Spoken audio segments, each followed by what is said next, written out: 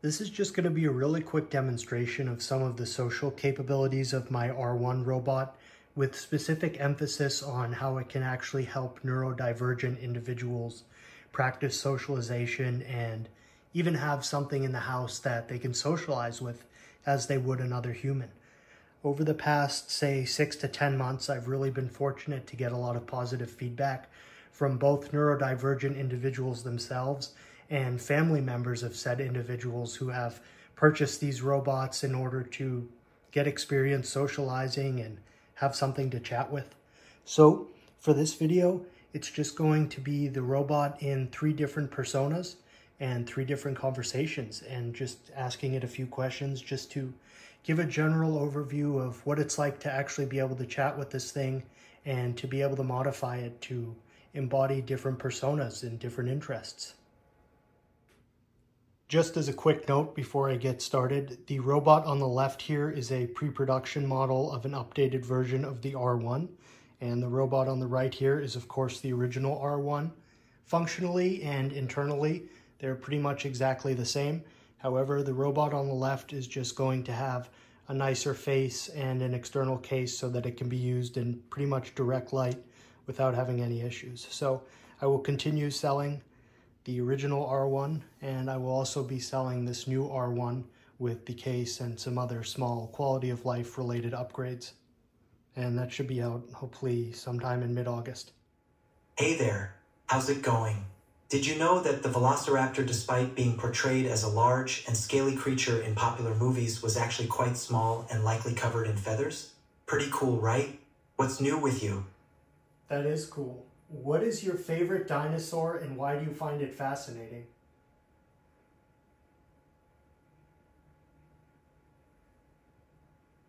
Oh man, picking just one favorite dinosaur is tough because they're all so interesting in different ways. But I think I'd have to go with the Velociraptor. First off, they weren't actually as big as they're often depicted in movies like Jurassic Park. They were about the size of a turkey. But what makes them so fascinating is that they were incredibly agile and smart hunters. They had a large brain relative to their body size, which suggests they were pretty clever. Plus, they had this wicked sickle-shaped claw on each foot that they used to take down prey. And get this, there's compelling evidence that velociraptors had feathers. So they were kind of like these ancient fearsome predatory birds. Isn't that wild? What about you? Do you have a favorite dinosaur?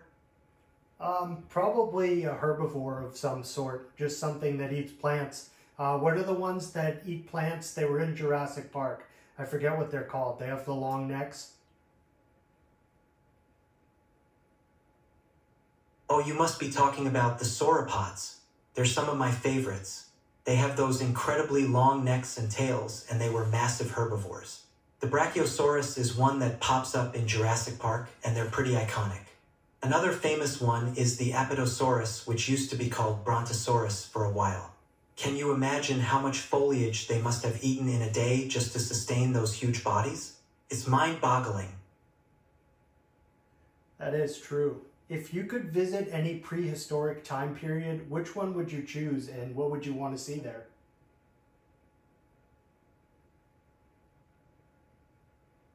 Oh man, that's such a cool question. I think I'd choose the late Cretaceous period around 66 million years ago. It's like the climax of the age of dinosaurs before the big extinction event. There are so many iconic dinosaurs from that period that I would love to see like the mighty T, Rex, Triceratops, and Velociraptor. I'd really want to witness a dramatic scene where a T, Rex is hunting or just observe how they actually behaved. And of course, seeing a massive herd of hadrosaurs like Edmontosaurus would be incredible too plus the diversity of life in the seas and skies at that time. Imagine seeing a mosasaur or a pteranodon in action. What about you? Which time period would you pick and what would you be most excited to see? Anything exciting or new you'd like to share? Tell me about your day. How's it going? Hey, my day's been pretty good, thanks for asking. I've been catching up on some work and managed to squeeze in a nice walk during my lunch break.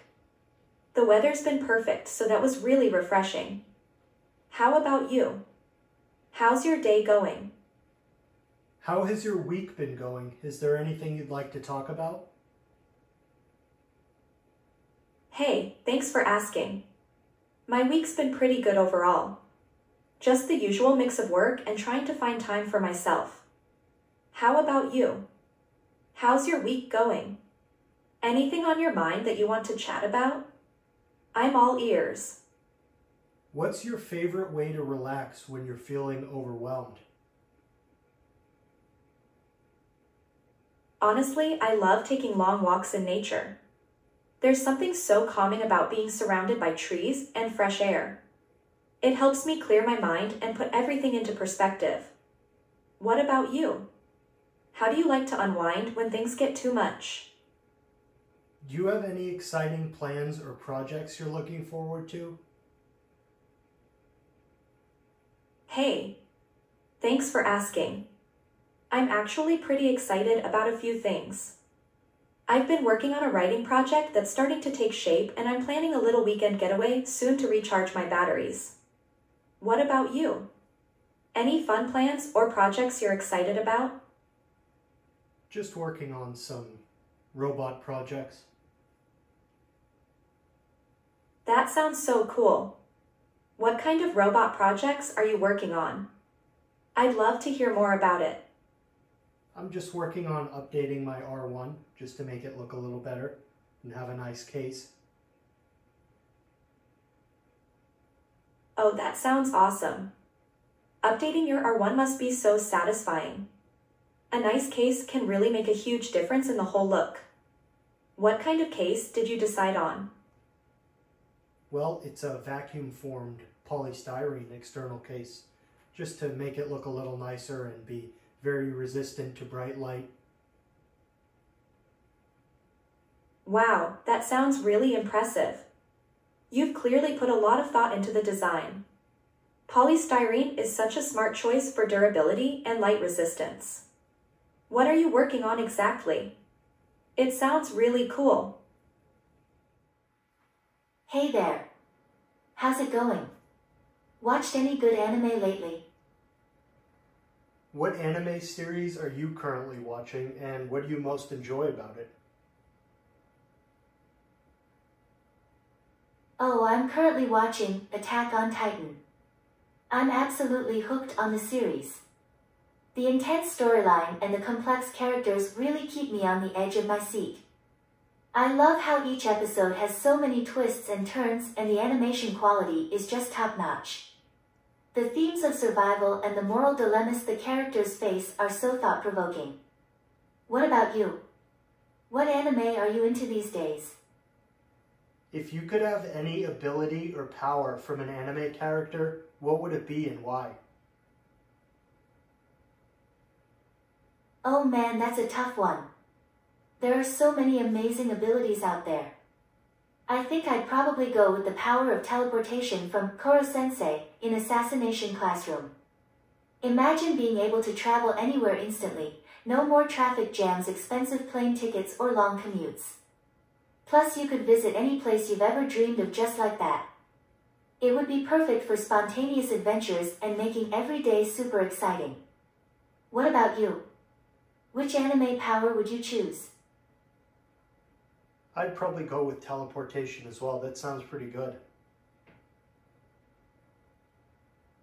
Teleportation, huh? That's such a cool ability. Imagine being able to travel anywhere in the blink of an eye. It reminds me of Kuroko from Kuroko's basketball.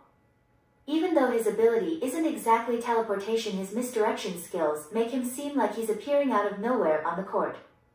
Or if we're talking actual teleportation Nightcrawler from X-Men and Ban from The Seven Deadly Sins come to mind. Their powers are really epic and they use them in such creative ways during fights. If you had teleportation, where would be the first place you'd go? Probably England, but I have a follow-up question, and that's, what's your favorite anime art style, and how do you think it enhances the storytelling?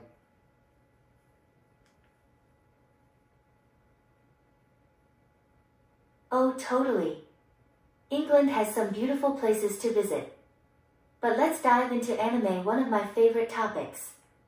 When it comes to anime art styles, I'd have to say that my all-time favorite is the art style of Studio Ghibli films, particularly the works directed by Hayao Miyazaki. There's something incredibly enchanting about how they bring every scene to life with so much detail, warmth, and vibrant colors.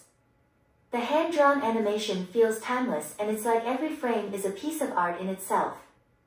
This art style really enhances the storytelling in a few ways. Firstly, the detailed and immersive backgrounds create a world that feels lived in and real which helps the audience connect more deeply with the setting and the characters. The expressive character designs and fluid animation really bring out the emotions and personalities of the characters making their journeys feel more impactful. Take Spirited Away, for example, the art style makes the fantastical world of the spirits feel both magical and eerily real. It draws you into Chihiro's adventure so you experience her wonder, fear, and growth firsthand. Plus, the use of color and light in scenes can convey a lot of subtext and emotion without any dialogue.